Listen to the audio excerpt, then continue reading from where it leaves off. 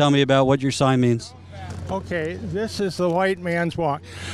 If you look at the 2012 election results, Obama got 93% of the black vote, 72% of the Asian vote, 71% of the Hispanic vote, and Mitt Romney actually got 59% of the white vote. Being a white person politically is, to a certain extent, a matter of shame. Give me an example. Why is being a white person a source of shame uh, politically? Well, well, I don't know that I can give an example unless Well, you're out here with a white man's walk. I, I know unless you're asking me to find an example of somebody saying that. I Well, how do you feel? What, what, how, are, how are white people, how are you being shamed? Well, I'm not being shamed specifically, but there's an idea that white people are destined to fail, to decline.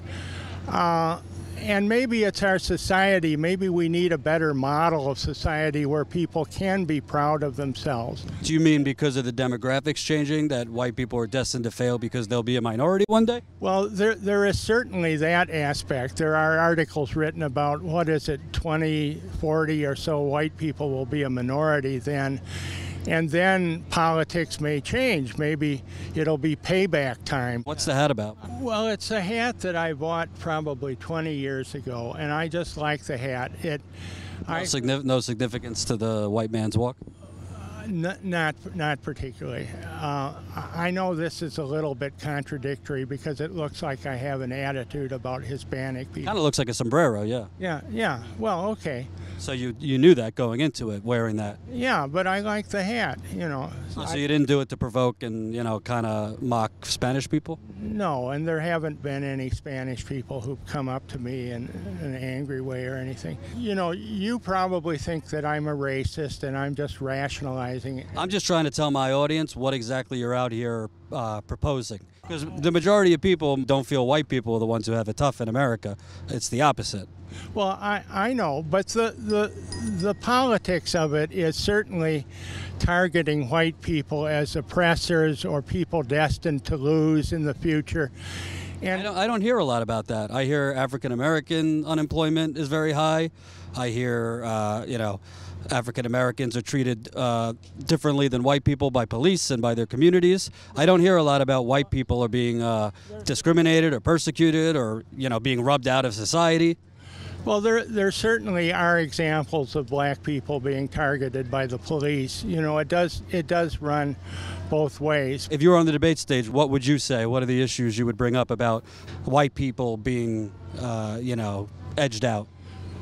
Well, look at, I think you'd have to look at the media. You'd have to look at news stories. You'd have to look at films. You'd have to look at the themes. Give me a, give me specifics though. You're talking in generalities. What would you say on the debate stage? I can't quote a particular example uh, of something of a film that I've seen at, at the moment to prove that white people are being discriminated I'm not talking about films. I'm talking about realistic, Well, everyday issues. Films are very important. The media people get their sense of society from the media. So the media focusing on a guy, a black guy getting strangled in Staten Island. The media focusing on a, a black 12-year-old in Cleveland getting shot in two seconds. No, there are all kinds of, of studies being uh, cited in the media about uh, black people being discriminated against.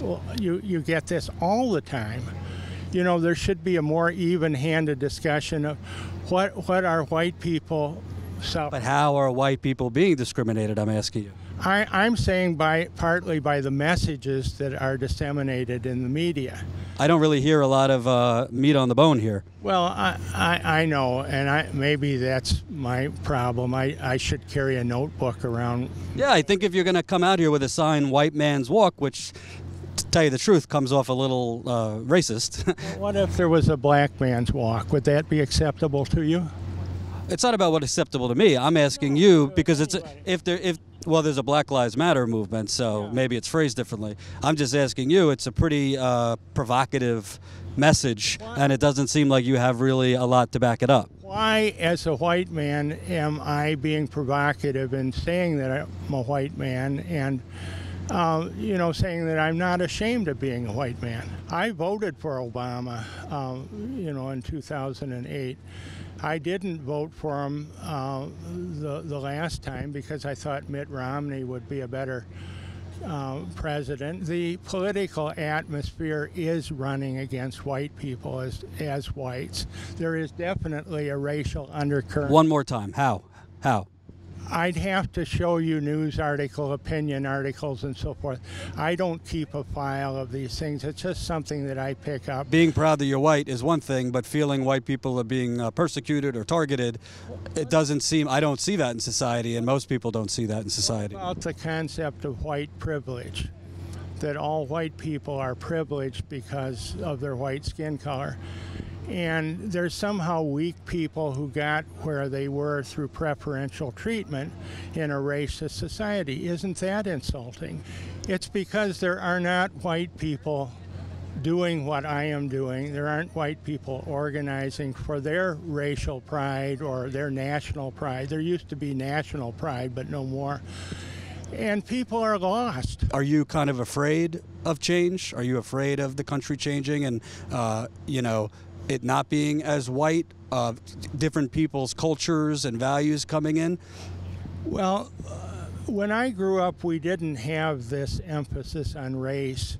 Maybe it was there, but it was not out in the open. Now it's everywhere. I think we need a more even handed discussion.